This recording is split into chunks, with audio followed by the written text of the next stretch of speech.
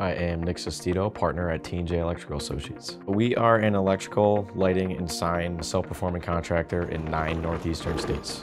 We pride ourselves on responding to any and all concerns that our clients have. It doesn't really matter what time of day, where it is, what the problem is. When they call our phone, we answer.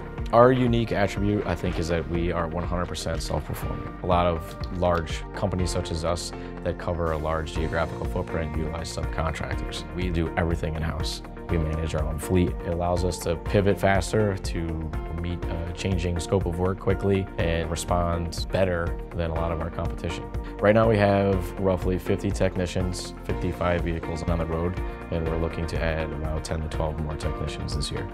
We've gotten a lot of new business from Service Channel, around 40 new clients. We complete about $7 million annually through Service Channel. They've expanded us tenfold across our entire footprint. Service Channel is by far the easiest and most reliable platform that we use on a daily basis. It's very robust, but very simple. Service Channel saves administratively a ton of time for us. Having everything you need to communicate with a client, pass along information to a technician, and complete the invoice of that work order in one place is huge for us. When you submit an invoice through Service Channel and it goes through its proper channels, you know the money is going to be paid in a reasonable amount of time.